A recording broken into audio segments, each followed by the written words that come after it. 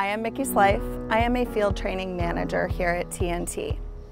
Before I came to TNT, I was a hairdresser in the beauty industry for about 16 years. I heard about the opportunity because one of my close friends worked here with TNT and she had a little bit of the same story as me. I was a single mom of four, she was a single mom of five. What she told me that made me think that it was something that I could do was she knew that I was good with people.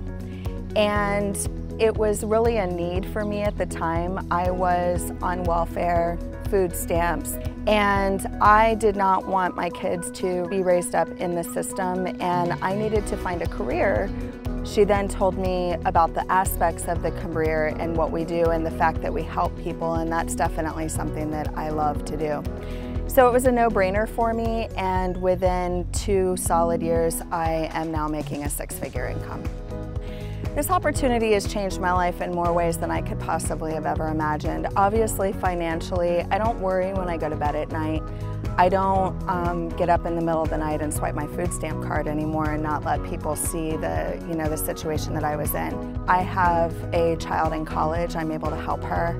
We're able to take vacations. I drive a new car. Those are things that single moms, especially single moms of four, just can't do. So the moment in time that I knew that I had found the right place is when I woke up in the morning and my residual income check had hit my bank account and I was able to pay every bill for the month, have extra money, and just go to work and have fun. TNT is pretty incredible. Um, my relationship with my business partner, Sean Knatzer, is like no other. He is one of my best friends. I truly count him as my family.